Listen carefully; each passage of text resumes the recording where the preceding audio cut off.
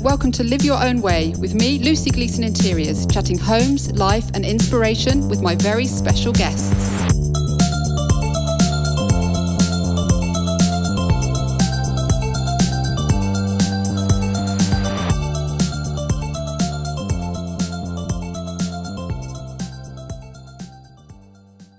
Hello, great to have you here this week with me for this podcast chat with Royal Television Society nominated TV production designer and extremely lovely person, Richard Drew.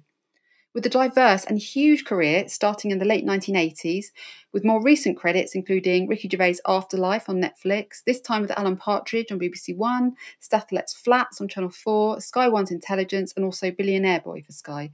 If we roll back to the very start of Richard's career, then there's Bergerac, One Foot in the Grave, Top of the Pops, Crystal Maze, Game On, Smell of Reeves and Mortimer, Smith and Jones, Big Train, EastEnders, I really could just go on and on, but I'm sure you'd like me to start the podcast chat. So let's find out how Richard creates the visual concepts on these shows, what the design process is, and how important colour is to him for setting the scenes and help tell the story to the audience. Richard, hello, and thank you for joining me. It's so nice to have you here, and I especially appreciate you taking some time out of the day off. yeah, a, rare day off. A rare day off. I'm in Nottingham at the moment, so um, I'm doing a little thing for uh, UK Gold called Newark, Newark. Sort of three weeks filming in um, in Newark, funny enough. And um, yeah, so this is uh, into our last week tomorrow, and then finally off for Christmas uh, on the on the Friday. I thought I'd start with how you started it in your career because it's so clear to me that you still really love your job. When you were deciding what to do for a career, were you set on a life in TV and design?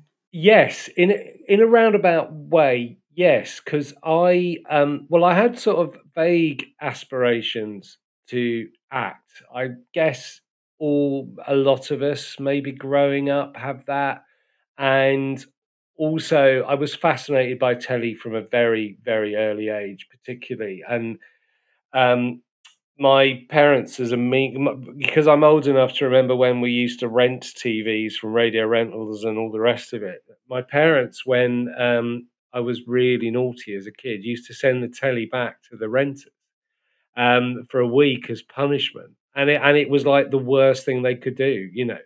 So I've always been fascinated by TV, but I guess when you're watching something, you're not necessarily thinking about anything else. You're just looking at the performers, and so I had a vague idea that I actually wanted to possibly do acting, and I ended up, you know, joining youth theatres and doing school plays, like you know, loads of us have done. But you know, very quickly realised I quite enjoyed, you know, the behind the scenes and the kind of process. And I did a. I was lucky enough to be involved with um, my local theatre in uh, where I grew up at the Queen's Theatre in Hornchurch. Used to do the annual pantomime. They still do, and um, they used to engage you know 20 local kids to be supporting artists. And um, i was lucky enough to audition for cinderella and uh, ended up in the chorus um, sometime around november 1979 i stood on a stage professional stage for the first time. Our last rehearsals before the show started the beginning of december and I can remember to so I'm I'm actually age twelve. So yeah, I'm age twelve, and I'm walking onto that stage, and I just remember standing on a stage and and kind of being completely captivated by not only 504 seats in front of me, but you know, seeing the wings and the back of scenery and and the kind of mechanics of of of how something is made and and it was an absolute light bulb moment for it. And I can even remember what side of the stage I walked on from. It's so clear in my head.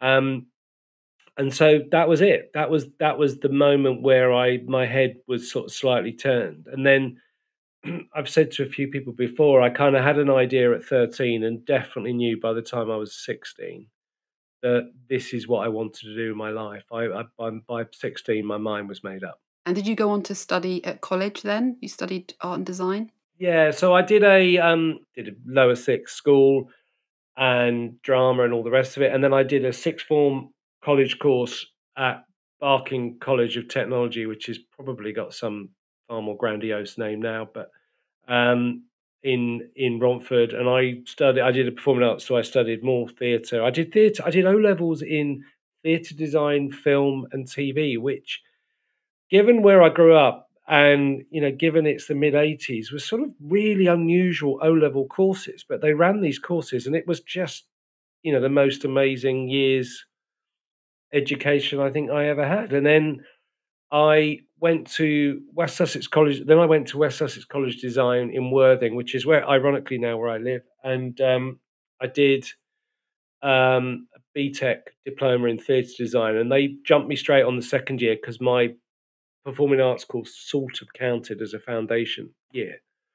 Um, it was a very, you know, practical course. Um, that theatre design course. We did a bit of everything, and I just loved it. And then I went to film school for two years in South Wales. So, kind of, I don't know whether I I had quite made my. I don't know why I sort of slightly sideways stepped with film school, but as it turned out, it was the best thing I could have done because, again, it was a very uh, practical course. Um, I think we only had to attend two lectures in two years, and that was a, a HND um, we were just handed projects to do, and off we went. You know, you were given given a camera, given some 16 mil film or 8 mil film, or you know, um, low band U-matic videotape or VHS tape cameras, and we're just told, told to go and make stuff.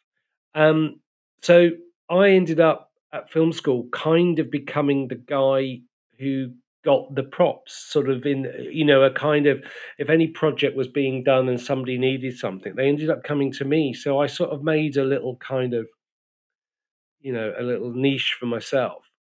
Um and we ended up doing you know victorian kind of melodrama things and we did a world war ii film which you know for students was quite ambitious and we kind of pulled it off you know in our own way. We ended up shooting on a um, a period railway station in the Severn Valley Railway, and we, you know, we took over some of the college, which was a turn of the sort of Edwardian building, so it worked perfectly. So we turned, you know, a couple of staircases in the corridor into sort of war offices and and hospitals, and and you know, by that point, I was sort of making a nuisance of myself with um, BBC Wales and HTV Wales. I got adopted as a student, they used to HTV used to run an adopt a student scheme where they took some students and kind of gave them a kind of in into the sort of workings of, you know, of uh, of the industry. A friend of mine got um, in with a producer and ended up working on a series of Boon.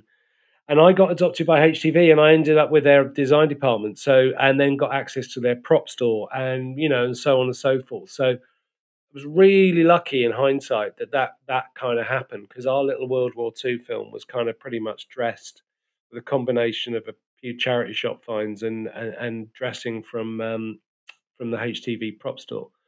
Um, but while I was while I was looking for stuff, I hope this is all right as an answer. This is a very long-winded answer. No, I'm I'm, I'm listening. It's great. I kind of got involved in doing a bit of costume as well. You know, as you do, as you, you know, you kind of muck in, and we needed some um, boots for our. We had the we had the uniforms, um, but we didn't have any boots. And I contacted the BBC Wales um, costume store, and they ended up lending me some boots. Went in and got them. Got chatting to a costume assistant, you know, in the costume store. And you know, I was coming to the end. That, was my second year, so this is kind of around April, May '88, and I was due due to leave in July, June, July, and um, we were chatting about me and what I was up to. And I said, Oh, I really want to get, you know, into the design department. And I think she thought I meant costume. So then I get asked to go and see the senior costume designer, sort of an interview. So I went up for this interview and, you know, within minutes, you know, this, this, um, she, re- she said, well, you want to see the design, uh, production design department, you don't see me. So she picked up the phone, and I and you know I literally went out of office. I went went across to the other side of the building, went and saw the senior set designer, uh, production designer, um, and then what was that? June, July, and then August the eighth, eighth of the eighth, eighty eight. Lucy, all the eights. Um, I started work um, in BBC Wales, and it was just a you know a sequence of kind of events that kind of got my foot in the door. I mean, I was sort of phoning around and I was taking my portfolio up to, you know, various regional TV, you know, studios as you did. I mean, obviously this is pre-internet days, so you know, you literally used to sit waiting by a phone to ring and sorting out interviews and jumping on trains with portfolios and all the rest of it. Um, but that's kind of how it started. I've I've sort of still keep in contact with a couple of my old kind of film school students, and one of them, Paul, was is is well, he's a he's a director now of, of, of, some note, and he was telling me that he used to go and see the guys that used to run the course for years afterwards. And the thing that they, because I was always very puzzled why they chose me to go on the course. There was only 14 places, and I think it was 40, I think something like 1,400 applicants. It was, you know, a lot of people for very few places. But apparently, the only criteria they ever had was, you know, obviously besides being, you know, vaguely passionate about, the, you know, film and was that they just wanted to find people that were employable that they thought were were worthy of their time because they thought they'd, you know, get jobs. And, you know, never a true word is spoken because that's what happened. You know, just being single, you know, bloody minded for me and just sort of badgering the right people at the right time and, you know, not taking no for an answer, which is something that I continue to this day. Um, yeah, there I was. So you know, I'd sort of within six weeks, eight weeks of finishing film school, I was um, I was a design a design assistant in BBC Wales in Cardiff. How's that? yeah, it's, it's amazing how it can happen. Did you find the BBC a very good place to uh, continue learning? Was it a good basis for the rest of your career? Definitely, without a shadow of a doubt. Um, I because when I, I mean, let's be honest, I'm starting a job and I don't really know what the job is. You know, I've got a vague idea of what you know a designer does, an assistant does. So I was very fortunate in BBC Wales because they can't. It was essentially a five month apprenticeship. I mean, it was sort of you know they. I was getting paid, which was amazing, but I was just learning, and I was sent sent out with all kinds of designers, period things, studio things, news, bit of sports. I think the first job I ever did on my own was um, go to Swansea's uh, football ground and literally staple a black felt piece of cloth onto a wall so somebody could do an interview against it. And that was the sum total, you know. And this was it. This was the first time I'd been out on my own, you know, turned up very early just to basically hang this black drape. It was really, and thinking about it now, it's really funny. Um, but I kind of yeah, it was just brilliant. And then I got a job in so I'd done five months in BBC Wales. So now I'm sort of on a radar uh, down down in that there London. And um, I ended up going to the BBC in London and did a kids TV series called Tricky Business, which, was really good. Then I went back to Wales and did another six months, and then I went back to London. Um, so that's the beginning of 1990 is that 80 yeah 89 or 90 89 and i um i think i did then the les dennis laughter show. I think that was what i did. Um then i did some going live uh kids saturday morning tv which is a steep learning curve and then i ended up one of the big things i ended up fairly early doors i ended up um assisting on bergerac uh, which it was was yeah. So that was ba- that was kind of April 1990 through to November. So there's a massive learning curve there because that's my first bit of location filming proper, and foreign filming essentially, um, filming in Jersey as well as um, we filmed in in, in Brittany and in, in Saint Malo in in France. And I, you know, I find that quite incredible that you know that's 1990 and only 18 months previous i was still a student and you know there i am actually living the life of riley you know the, and thinking this is what it's all about because i got given a hire car i was getting you know i was getting and i got given a soft top hire car would you believe um, an xr3i which for an essex boy was like a dream car back in the day um, and you know you're getting money for because the bbc used to give you money for clothing filming clothing. You got per diems. And I thought, blimey, this is it. I'm absolutely, absolutely made. And I did a year on that. Um, and then I, uh, think the next big job I did was Grange Hill. So that was a sort of a little bit of a come down. Um, but very enjoyable. Um, but yeah, it was, it was, and the BBC had a particular way of um, drawing. I mean, I learned. I mean, I could technic do technical drawing, but um, I definitely learned on the job at the BBC. And the BBC had a particular way of how you laid a uh, drawing out and how you even how you wrote your handwriting. You know, um, they used to have a guy who used to essentially sign off your drawings, like a teacher used to red circle um, in pencil where you'd made mistakes, and you'd have to go back and correct them before you could issue them. I mean, you couldn't imagine that happening now, given that a lot of what I do seems to be on A4 bits of paper and um, whatever the uh, non-smoking equivalent is of a fag packet. That seems to be how I operate now. Um, but yeah, I mean, it was very, very routine, and the BBC had an in-house um, uh, prop buyers and construction managers and transport, and then there was a big prop store, and then you could get um, stock scenery. So if you were working on a like a Les Dennis show, for example, which was turning around, you know, a dozen sets a week for sketches, you had this sort of um, essentially library of scenery that you could pull together because you know you couldn't build that amount of stuff in a week, so you'd use stock scenery and stock rostra. So what that was very good for me because I've done sketch shows since is you know the speed your speed of thinking and how can you solve a problem very quickly because the design sort of slightly going off the beaten track. I feel TV design is and film design is is as much about problem solving as the creative. It's how can I come up with a solution? You know to to do X um, the kind of idea that you're sat you know, in your studio, surrounded by samples books and you know and research. Uh, you know, as much of that is lovely, but but that's only one percentage of what you actually do. A lot of it is just problem solving. Um, so the BBC kind of you know taught me that to you know, and I the BBC even taught you how to fold a a plan correctly. You know, there's a there there was a BBC way to, how to fold a piece of paper. There was a BBC um, scale ruler, which is unique to the BBC. It's called the rationalized foot, and it was I've still got my ruler. And what the BBC decided was that um, one foot was equivalent to 300 mil, when in fact it's 330.3 mil to be precise. Um, but the BBC thought, no, we're not having none of that. So we they kind of rounded it down. So all those BBC studio plans and the way that you hired scenery and the way you drew everything up, you just said, right, one foot is equivalent to 300 mil, and that's that's that was the BBC way.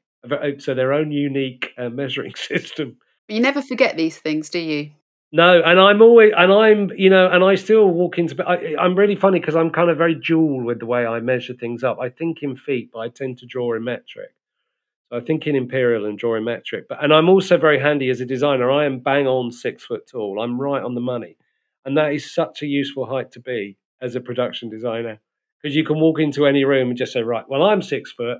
Bosh, what's that? And you know that there's that thing where you put stretch your arms out, and in theory, you're the same height as you are width if you stretch your arms out. So I can, you know, walk in and get an idea of a room, and I'm fortunate enough to be right on six foot. So it's, um, yeah, it's well handy. But your CV is is really diverse with lots of different genres. So, um, is there a very different design process each time? Because obviously, you'll have different visions every for every different show. Yeah, I think uh, it's actually a little bit of a bugbear of mine, and I think a lot of designers feel like this that you kind of get. I mean, I'm doing a lot of comedy, for example, at the moment, and I've kind of back to back kind of comedy shows, and I'm very happy doing that. Um, I would like to do a drama. I've kind of you know, I suppose the Afterlife series is as near to straight drama, and I, in fact, I've got something coming up next year, which is, you know, pretty much a drama.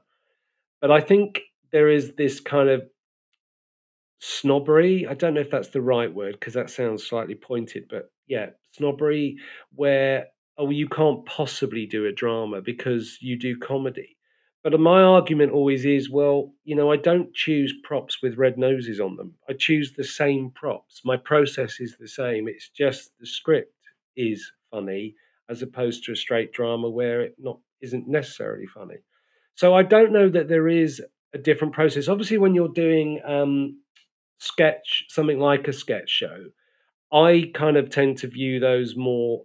They're kind. You've got to make a big, bold statement very, very quickly. So, with a sketch show, I think you're you tend to be a bit more cliche driven, I suppose, in terms of your the way you set out to dress something.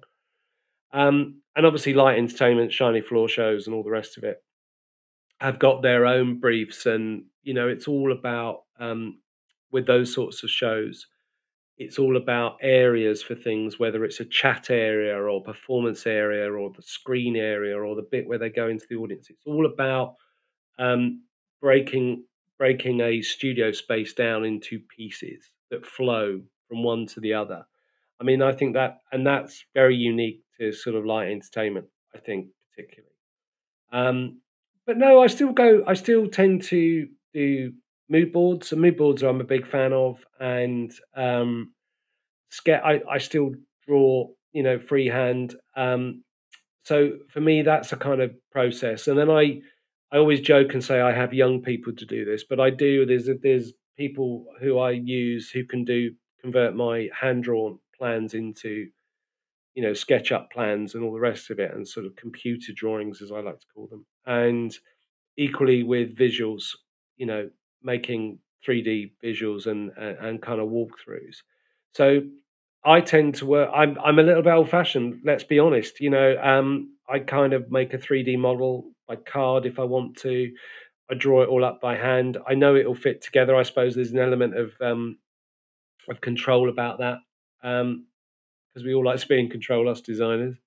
And um, and then I kind of hand it over to somebody to say, right, turn that into a you know computer visual for me, um, because people, un- you know, the, the, way the world is now, people tend to understand that more. I still think direct is quite like a um, uh, cardboard model, um, something that you can actually pick up and touch and put to your eye, and you know, and have in your hand. I think there's something rather lovely about a 3D tactile thing that you can hold.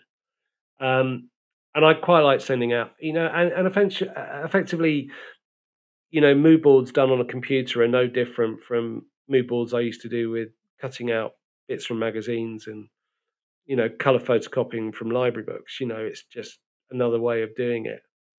Um, so apart from light entertainment, I would say the processes are pretty much the same. It's breaking scripts down and and and budgets. I guess you know, but that's you know that's a massive factor in you know all of what we do. Is it, it, a lot of the ideas are kind of driven in part by by how much you can afford to spend as well. Yeah, and co- color is obviously a really massive thing for you to consider for each project. Yeah, huge. How much time do you spend on that and the psychology behind it? Well, interestingly, I think where this, I think the color thing for me come well, per, partly personal because I, I, um, I like, I like color, um, and I that's a really odd thing to say, but um, you go into countless homes that are just, you know, series of shades of grey or beige or grey. What do they call it? Greige. Yeah, that's it. Greige. Um, so I, I, you know, I, I, I personally like strong, bold colours, and I think a lot of light entertainment back in the day, and actually to a degree now, if you break down, I mean, if you watched, you know, strictly without the lights on, it's a very grey set, and you know, it's all down to, um, I mean, the strictly set, by the way, is brilliant, but it's it's all down to lighting and reflective surfaces that can be lit. Um, there's pops of red, obviously, but I I think that's where my desire to, because I think the thing about putting color onto set, you have to commit to it, and I think people are basically afraid of committing, and and and if you're prepared to be, you know, to have the courage of your convictions and commit to throwing a color onto something, I think you should just go for it. And I think color say, says a lot.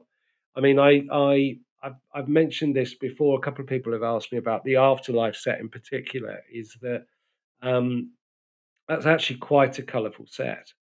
Tony's house is is is colourful, and the general feeling it's actually quite colourful, and that all came about in particular because we I was chatting to Ricky, and one of his reference points was uh, "It's a Wonderful Life," and we, um, and I, I ended up going around his house, and he was telling me about the floor and not breaking up the floor space with different carpets or wooden floor or whatever. He wanted the same color throwing through. So, and if you look at "It's a Wonderful Life," that's what goes on in the downstairs part of the house.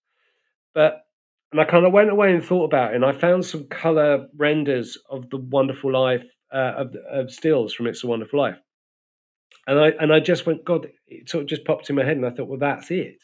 So all of the colors on that Afterlife are based on the colors of It's a Wonderful Life. So it's not a reference into when Ricky's saying about the pro the film. He's I've not referenced it in terms of the look, apart from maybe the wooden floor, you know, passing nod to the wooden floor but I've referenced it on the color. Um, and all those colors seem to work for Tony. They're kind of blues and mustards and and dirty greens and you know dirty browns and stuff. And I really like that kind of color palette, and also the way it's graded. The blues in particular really really pop out, and the ter- and the teals. I mean, they're kind of quite contemporary colors to this day, and that just goes to show how brilliant the design on It's a Wonderful Life was but I, I like you know I like using color. I use color a lot on the um, on the Alan Partridge set. That's quite you know there's quite a lot of strong colors, which are kind of all lifted from various BBC shows where they use bits and bobs, and they're very BBC colors. I like to think purples and reds and oranges. So I kind of use a lot of that. When you're on location with the with the rooms, do you ever are you allowed to paint them or do you just find places that are suitable? You you you absolutely can do it and i've i've done it on occasion. It's a i personally i quite like finding the right house because if you find if you've gone and found the right, right house you know because it's almost you walk in you get a feeling from it and that's like real life isn't it? If you if you're moving home you walk into places you get kind of a feeling for it. Um, but yeah you can do it. You there, there's this um, there's this thing called Maskit, which is essentially giant masking tape. It's like a wallpaper wide rolls of masking tape. And you push that on a wall, paint it, and then peel it off. I mean, that's kind of how you can do it. Where what you what that does end up costing is money, you know, because you need to get into a location then two or three days before you would normally need to if you were just dressing it. And it requires, you know, painters to take take it on and take it down. So um, if you've got the budget, yeah, absolutely do it because it, you know it's lovely. But I, but I, I personally quite like trying to find the right house to start with, um, and we certainly did that on Afterlife. With all those homes we go into for the the little kind of news items that um, Ricky does, Tony's character does, where they go and see the people who've got the local news. All those houses are kind of I like to call it embellished. They're just embellished with a few props or a different sofa. And the big thing for art department in particular is swapping art over because a lot of art is copyright. So if somebody's house is full of art, we'll go in with some cleared art just to swap over.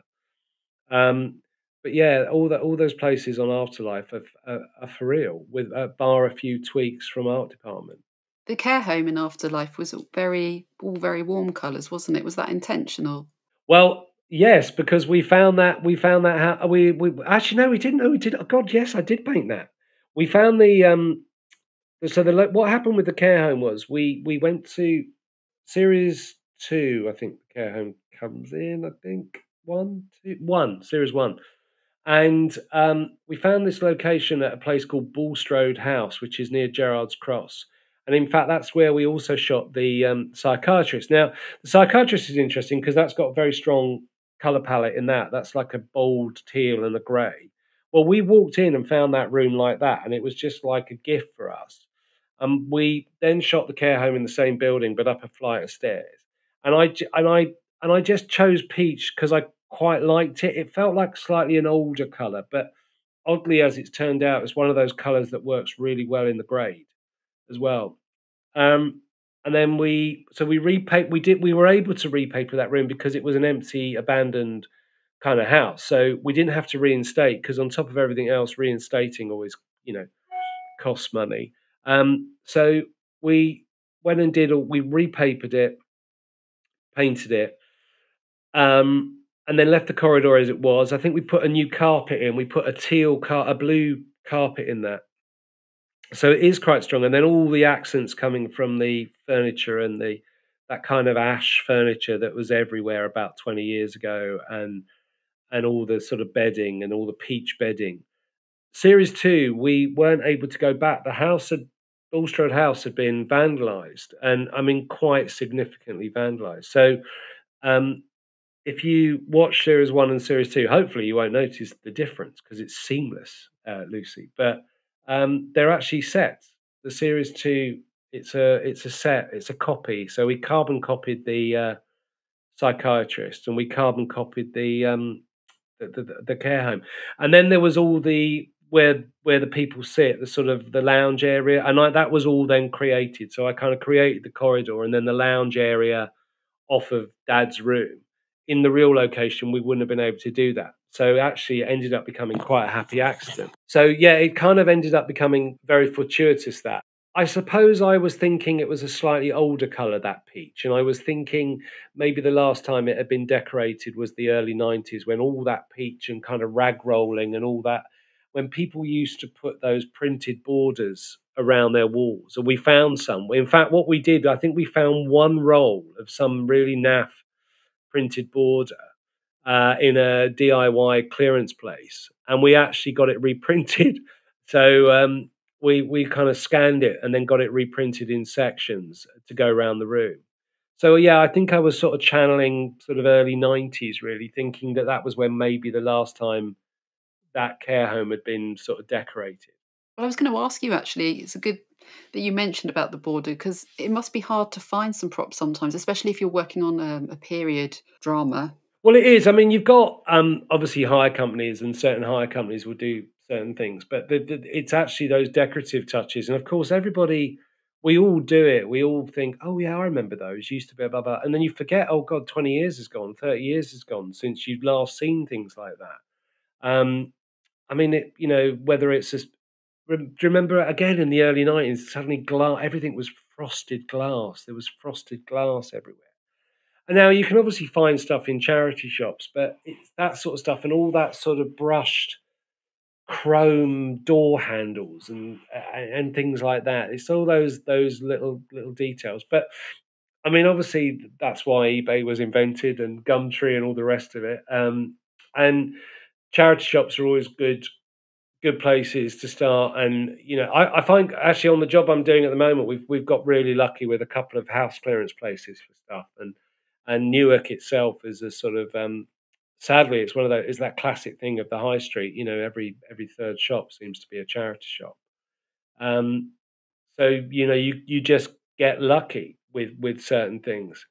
The sofas for Tony's house in Afterlife, for example, I think they were from Facebook Marketplace, and they were like, I think they were hundred quid for a pair of sofas. And when we found them, we just thought these are absolutely perfect. We tried. We were thinking about hiring stuff because we can hire, you know, contemporary sofas, for example. Um, but we wanted to, with Tony's house, although what I mentioned earlier with the colours, I think we had an idea that the last time he had decorated was May. Well, it would have been before Lisa had passed away, and we we thought the kitchen would have been done in the early two thousands. It was like the first bit they ever did. In fact, that was a kitchen from Howden's um, that we we managed to get some they had some old doors. I, I, did some research on kitchens. Who knew that 20 years ago all the kitchens in howdens and, and generally were very a very light cream color with very long handles. That was the thing and wood dark wood seemed to play. We sort of got howdens carcasses and we we did some we had some doors and then found some long handles and then the worktop in tony's is actually a um, an oak worktop that we then stained a very dark wood because you couldn't we couldn't buy any dark wood that kind of rosewood that slightly uh, redder wood that seemed to be very popular. So we kind of went down that route for that. And i know it's a very subtle thing but we were kind of proud quite proud of how that all turned out because it definitely had a sort of slightly dated feel to it you you just get lucky in prop houses or you just get lucky looking online and sometimes then that you can take your cue from that, I think Tony's got this lovely record player, this sort of 50s kind of 60s big record player that sits in the corner. You only see it in a couple of shots, but we found that and thought, well, that's a great unit. It's one of those sort of cabinet pieces. But then that gave me the idea, well, of course, then Tony is a collector and Ricky's scripts are peppered with um, musical references and the music you you hear in in Afterlife is he writes those down in the scripts. He's got very clear ideas what music is playing, and he's got those in the script. So that, of course, Tony's a record collector. Then, so that gave us the idea of giving the record collection. And if he's a record collector, then he's probably a book collector, and, and you know, and away it goes. And that all kind of came about from finding that record cabinet, you know. So yeah, sometimes you you are climbing inside that that character's head, aren't you? Yeah, yeah, and that's the fun bit. I mean, you know, as I said, for all the sort of planning and the logistics, you know, that's where the research is fun, you know, and the, and trying to build up little backstories. Um, Lisa's we, the, the the reason why they live in such a big house, but he um, but he only works for a local newspaper, is that you know Lisa's you know parents left them some money. You know that was the idea, and she had some money because she was very smart when he's not particularly smart, and she we see her in the videos uh, painting in the home videos her doing painting so tony's house has got some of lisa's paint paintings on the wall you know and that you know and so we then therefore because lisa paints that gives tony and lisa a love of art and you know and they, and we've got quite a lot of art throughout throughout the house so his house in particular is kind of quite eclectic. It's very much a couple's house that. And the idea if you if you look at series one of afterlife all the plants are dead. And it's that idea and the, but in the flashbacks all the all the plants are alive. And it's the idea that he's kind of because he's given up. That's why the garden well you see the garden in some of the shots. It's that he can't be asked to go out and deal with it and it's and it, and it is literally the grass is always greener and the, the, the vertical blinds are kind of a metaphor for him being slightly trapped because it's inside a cage. He's sort of slightly trapped where he is. He just doesn't want to move on. So, yeah, all the plants inside the house are all dead because he's just given up looking after them. There's also a slight haze in some of the scenes. Am I imagining that? But I think it really adds to the atmosphere. Yeah, that's um come that that comes through Martin, our DOP's brilliant lighting, and he adds a sort of slight mist. A lot of the light is punching through those windows um, I mean, the garden's got some real depth to it. The front of the house, we've got net curtains and a and a an old fashioned painted backcloth, little more than that. But you really notice it with the light streaming in through the um, the, the, the patio windows at the back. Um, and Martin's just got a little bit of haze in the air, just to, and also it accentuates those kind of prison bar that prison bar idea. Billionaire Boy very different kind of show, but that must have been really fun. Oh wow, there's one. Wow. Oh, yeah. Okay. that was uh, with all the gold, very grand. Yeah. Well, that was a little bit more cliche. I suppose, in a sense, that was a little bit more cliche written, and we we shot that in. Um, God, that's about five, six years ago now. Five years ago. Um, we shot that up in um, a place called Wentworth Woodhouse, which is um, near Sheffield. I think it's owned or something to do with the Rees-Mogg family. Would you believe? it's it's used in Victoria, the uh, ITV drama series Victoria, and it crops up in uh, the Timothy Spall film about Turner. It appears it ends that particular room is the Royal Academy in that story. Um, it's it was such a grand location, and and actually that those David I did three of the David Walliams um, books, and you know they're big stories, but you don't get and without you know you don't get a massive amount of money to spend on them. So you have to be very um, you have to be very very clever how you do things. So when you get a location like that and that big room that's just a dream because a lot of the work is kind of done for you. You know you're making a huge statement and then the gold sofas they, we had gold sofas they came from a hire company down in london and i think i made the coffee table um, but yeah, you just kind of went because it's kind. I can't even remember the character's name now, the dad, but but um, you just kind of wanted to it, sort of slightly pantomime. You just kind of want to overload on the cliche, oh, of course he would have a helicopter. Of course everything will be made of gold. And he's got his motorbike in the living room for no reason other than the fact that he can.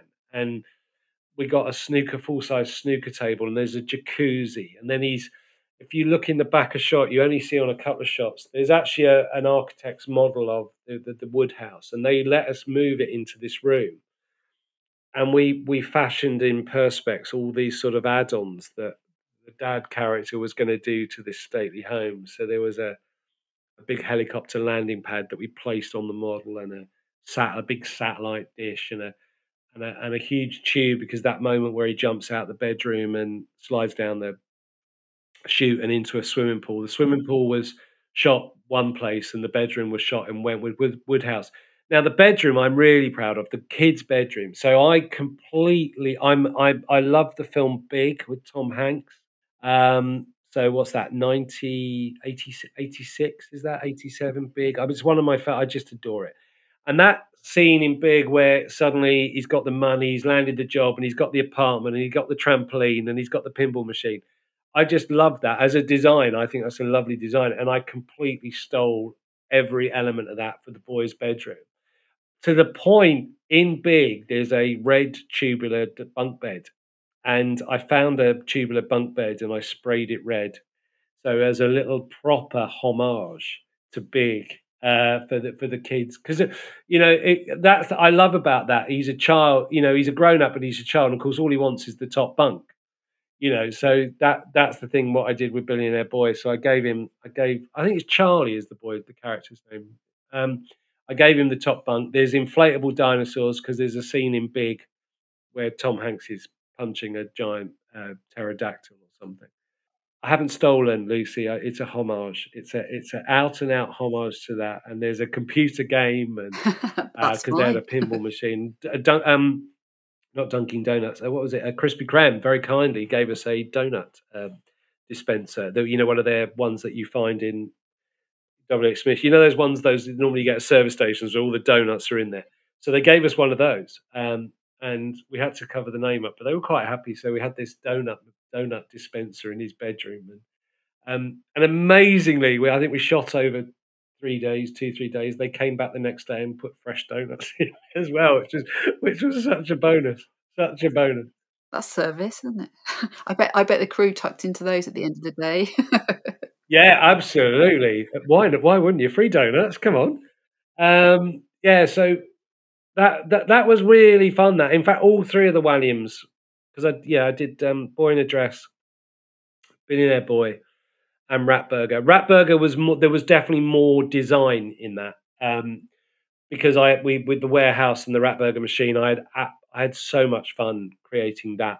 Um, kind of I, I essentially I again I stole I borrowed um, the idea from the Mousetrap board game. So I kind of basically did a giant version of you know Mousetrap in. Um, but that yeah, and then we built the house for that set. And I oddly I used that same coloured peach. I oh, there's a thing with colours. So on that the house uh, in uh, Ratburger, which was the council flat that um, the the main character lives in. I'm terrible with the names; like, they've completely gone from my head.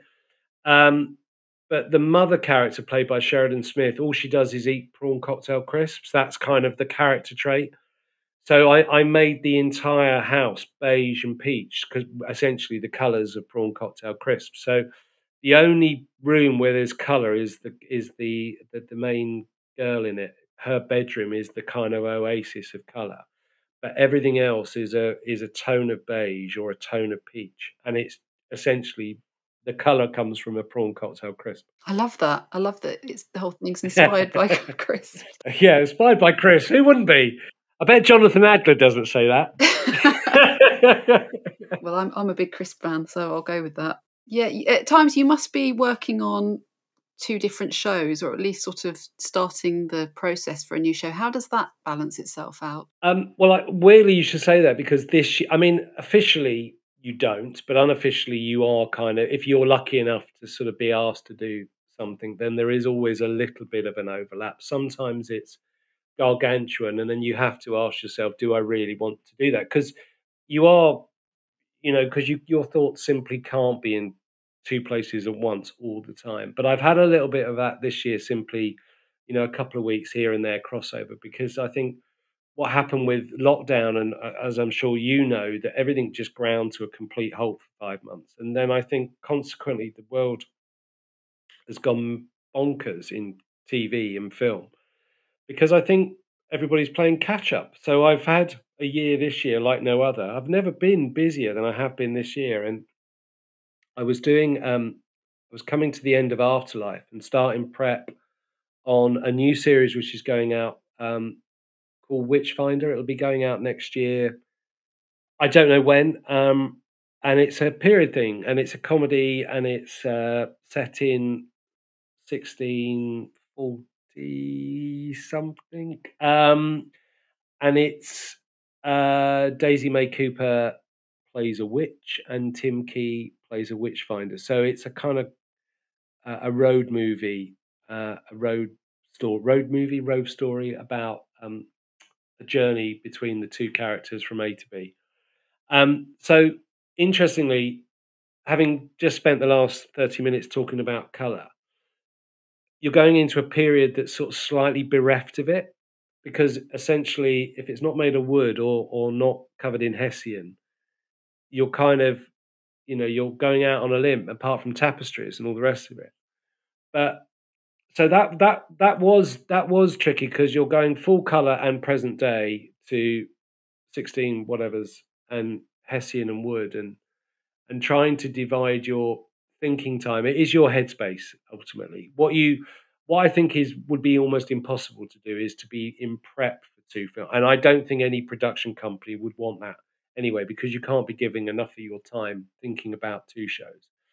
But I think with with Afterlife, I was coming to the the latter part of the shooting, and let's be honest, we're series three, everything's established. We've got a couple of weeks to go, and um, we were doing some of the house stuff, so I was able to go in and prepare the houses the morning of the day, and then disappear and and deal with you know um, the prep for the next thing, which is uh, which is the reading of the scripts, the breaking things down, um, sketches, coming up with um, you know going to see contractors and all the rest of it. It's a, it's it's it's a hard question to answer because uh, it's sort of you you just make time. I think what tends to happen, you end up doing quite a bit of weekends actually. You you know if you're lucky enough to do a show that's only shooting five days a week, then your weekends end end up becoming you know you know thinking time. Um, and I, it's not something I like to do. I very occasionally this year has been the one year where it's I've, I've noticed I've done a bit more of it, but you you try and try and avoid it. And I'm the current job I'm doing and the last job I've not done it, and um, the job I've got lined up, which I can't say too much about at the moment, but I'm you know I've got that lined up now, and you know I that's that starts middle of February for me. I'm not going to take anything more on up until that point. So um, just focus on one job, you know. And how do you switch off because being creative it is all encompassing isn't it what do you do to relax um, well, I've just spent the last five months um, having a massive extension on the house, so it, it's sort of life imitating art at the moment. But what do I do? In my so I haven't really done much this year. I had a very busy year, um, which I'm very, very lucky to have had a very busy year.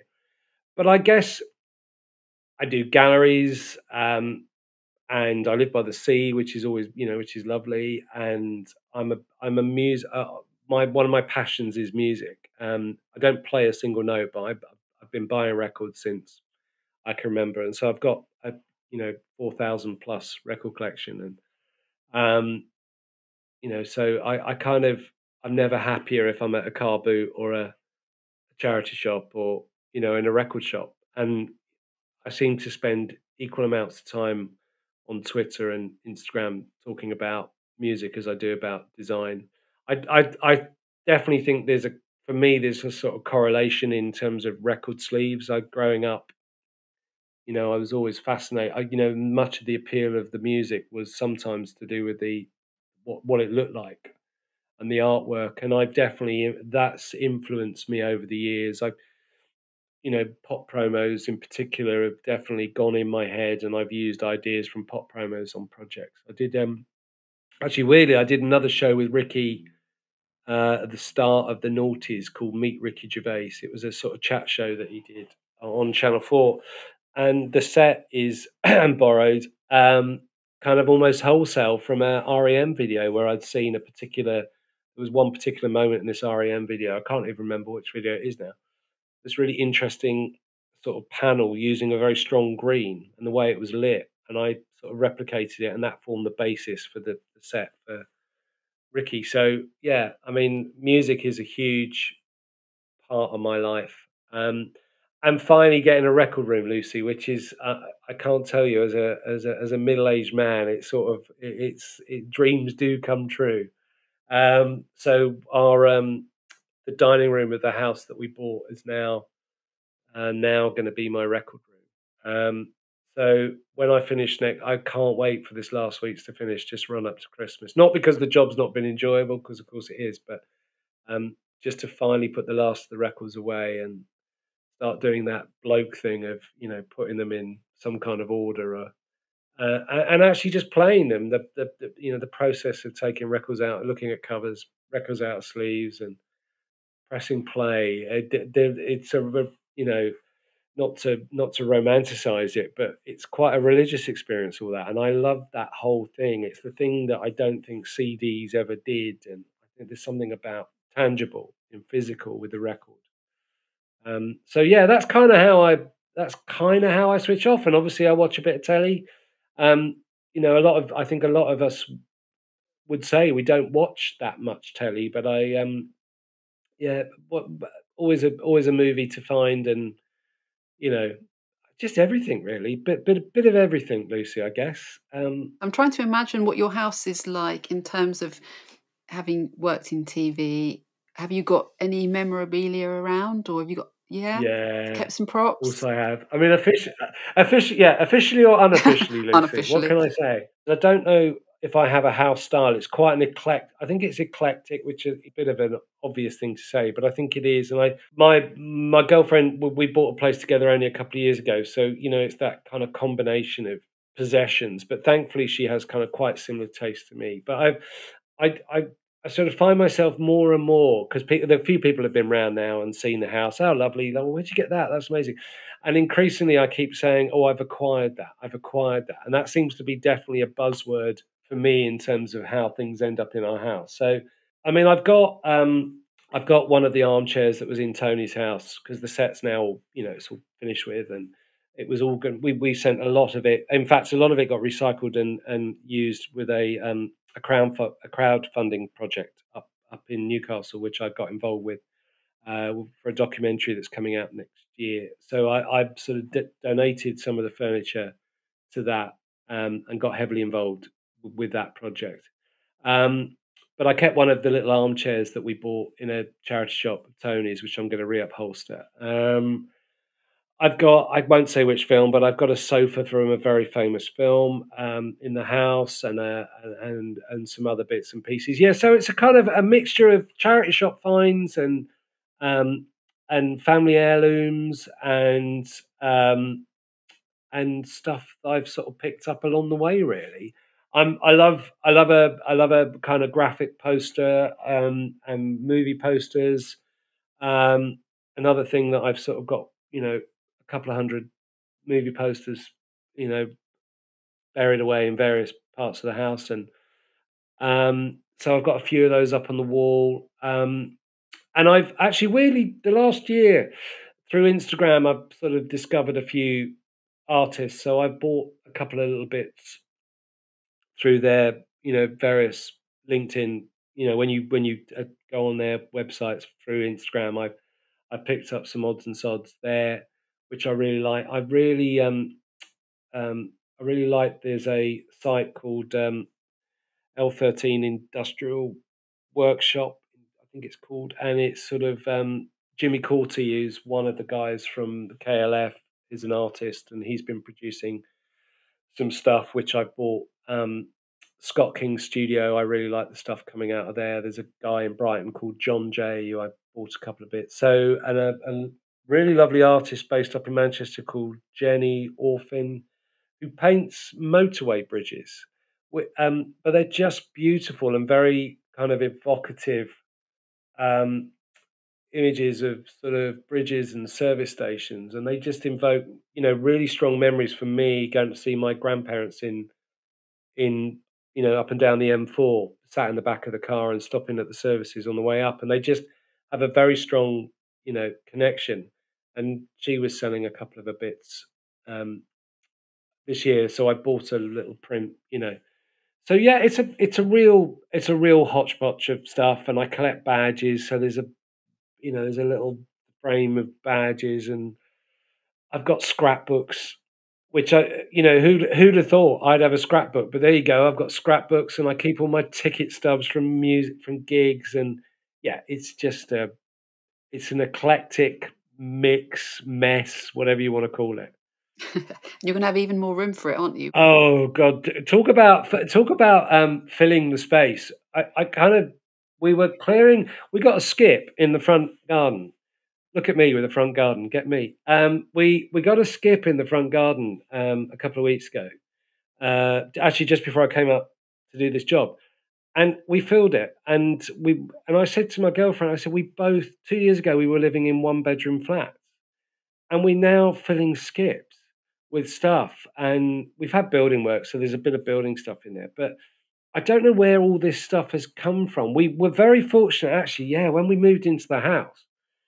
So there was this lovely lady. I mean, she was clearly adored by everybody in this street. Cicely, her name was. Oh. To a point, we haven't told the locals. We're thinking of calling the house Cicely House. We think it's such a lovely name. That's lovely. So she she only lived in the house for three months a year. She was German, so she spent a lot of time in Germany, and then she used to come over to England for the summer. Um, when we moved in, the, the, the daughter was, you know, sadly she passed away, and the daughter was doing the thing, and there were some bits and pieces, and we said, oh, we quite like some of those. So we said, oh, we need to, and well, what do you think? And I, and I think she said, oh, 200 quid will be fine, you know. So we said, great. Um, so there was this beautiful G plan sideboard that we sold, we did sell, but there's a lovely Victorian chest of drawers.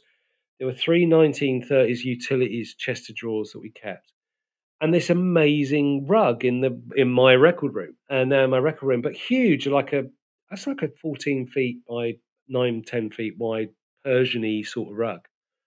Um, and that's now pride of place in our new extension under the dining room table. Got it clean, you know. It, it was unbelievable, and we had this lovely Edwardian kind of padded little armchair, a 19 Art Deco 1930s low sort of little armchair.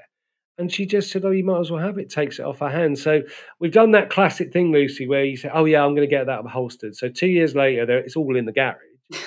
but we will get round to doing some of it. But this um, carpet um, was was unbelievable. We found this guy in Worthing who came around and took it away, cleaned it for a weekend. I mean, it, I'm not trying to sound flippant about the money, but it was like a hundred pounds for this guy to go do it. But honestly, it was the best hundred pounds you could ever spend because for me, I think that rug, the rug was pretty much free. You know, we we got left so many lovely bits of furniture. Um, yeah, so we've kept a bit of Cicely in the house. We definitely, and you know, all the deeds. We're only like the fourth people to live in it since it was built in 1927, and um, I think two of those four people, the house was left it was it was an inheritance thing. So it's a clearly well loved house, you know. And there's that, you know, it's an obvious thing to say, and everybody says it, but you you feel then you're custodians of it. And I want we were really keen to keep, you know, we're really keen to keep a little bit of Cicely in it because she was clearly adored, you know. And we, we we've inherited this massive back garden, which last year during lockdown was a godsend. This year is like bombs hit it again because, of course, I've been nowhere near it but it kept me from going absolutely bonkers last year, certainly, because that's where my creativeness w- was allowed to sort of flourish. Because once you've tidied things up for the umpteenth time and thrown things away, what did I do during lockdown? Well, I ended up being out in the garden, sort of whittling and kind of creating things and trying to make a little bit of sense of it. I, you know, I, I became Tom Good. You know, um, I own a lawnmower, Lucy. I've never owned a lawnmower in my life. You know. No stopping you. But it's so lovely for Cicely that you appreciate those things that were left behind. I think that's really lovely. Yeah, no, well, she was, as I said, she was just, you know, and, and occasionally there's a lovely old lady who lives down the road who I mean, I think she always every time she comes down, she makes a point of saying, you know, I'm 93 and a half, you know. She and this half is really important to her.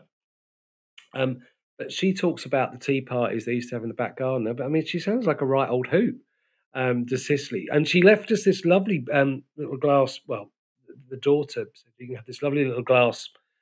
I guess it's Victorian bookcase, which is now in our new kitchen with all our, you know, um, my girlfriend sort of turned over to all her ingredients are in there, you know, but it's a big glass kind of bookcase, but also a, a whole stack of books. And then you you then begin to find out a bit more because uh, I love a book. I don't read as much as I should, but I love I love a book. I just love books, what they look like, and you know the covers. I just love the tactileness of them. I suppose the same way that I love records. It's exactly the same thing, and the way that they slot into a bookcase and the way they look and there was a whole stack of books left. And then you get an idea of what she was about. There was a lot of language books. She studied at, at St Andrews University because there was loads of stuff. I think her her her husband was an airman because there was a load of stuff about the Air Force. Um, and she was really and clearly very well read. She was and definitely history. She she must have studied history because there's lots of stuff on British and European history in there. So we've got all these wonderful books we got left as well. Uh, you're clearly never really switch off from your work, do you? Because you're so interested in people, so it must be difficult to switch off. Yeah, I guess so. I mean, I, I, and I suppose the thing is, you're, you know, you can never switch off because you've got a little black box in the corner of the room reminding you every day of that's what you kind of do for a living, you know.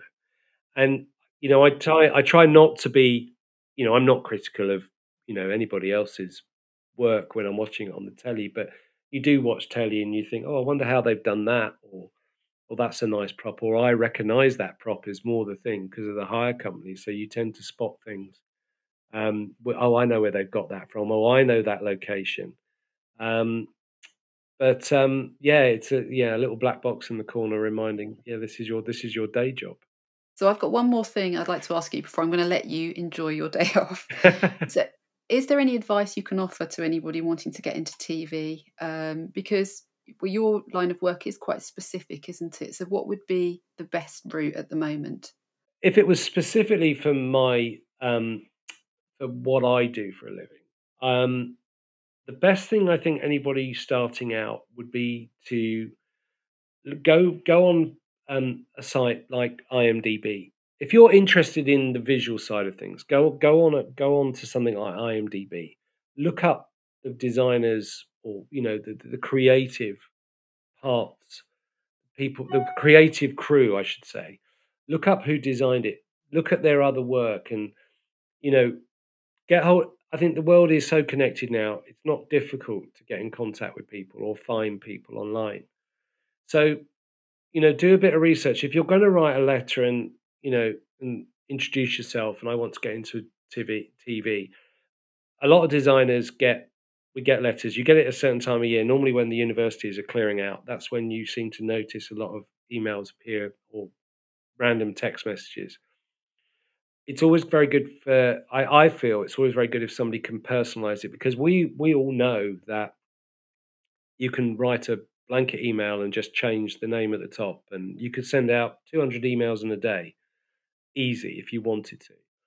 Um, but if you can personalize that introduction email, that makes a massive difference for me personally.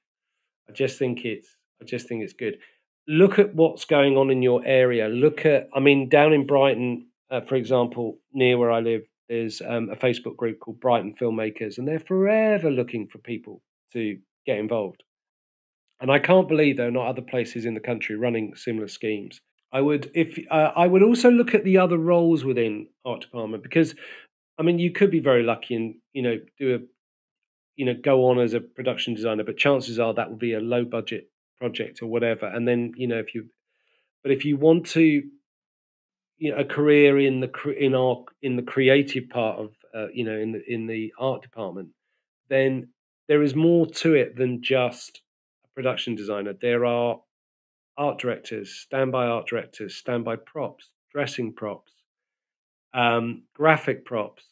There are set decorators, production buyers, petty cash buyers. There are scenic painters.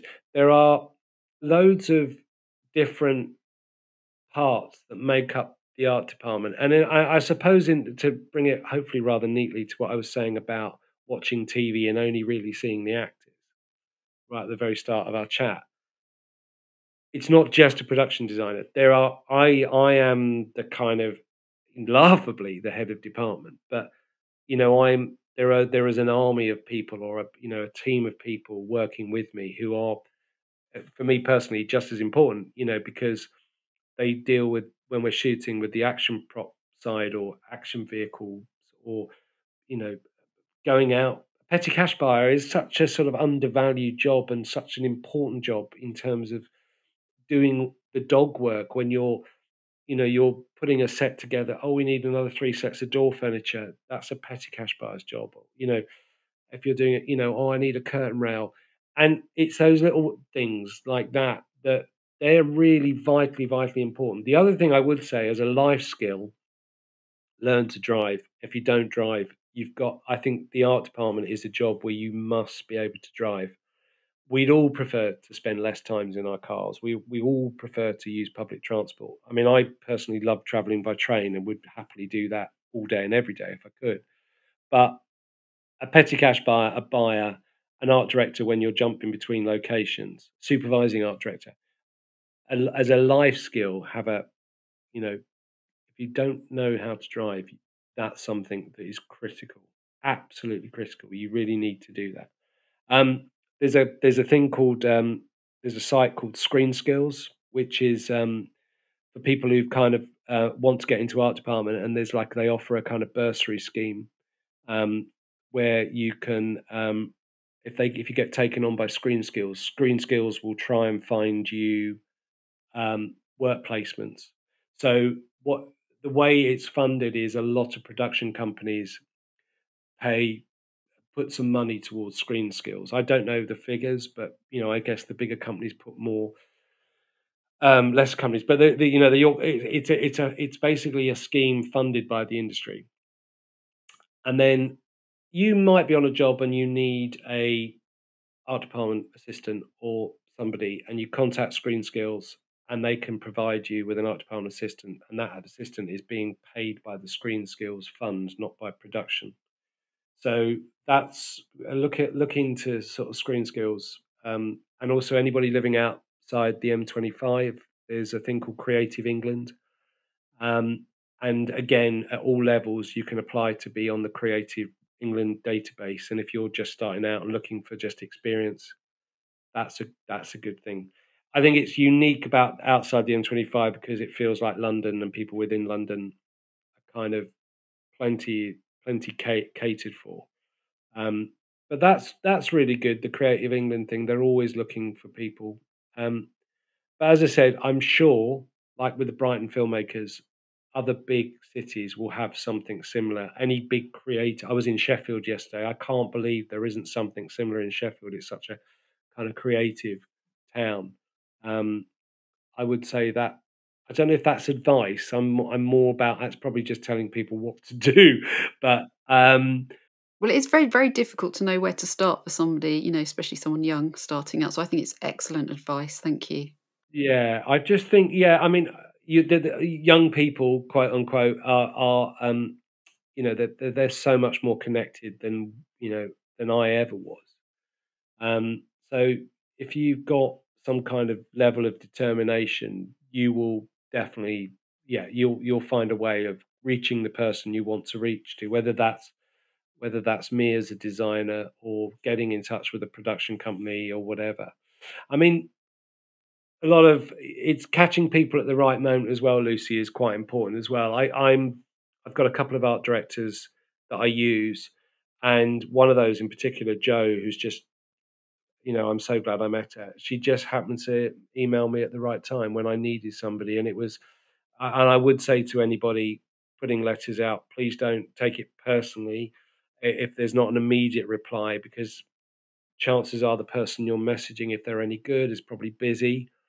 Um, but it might be that day when that person needs somebody, your email fires up and lands on their inbox, and it's just at the right moment. And as I said, this uh, Joe, we've worked together now on and off for 10 years. And she just happened to message me when I was looking for something, somebody for the Comedy Awards, it was. Um, the first one's so exactly 10 years ago.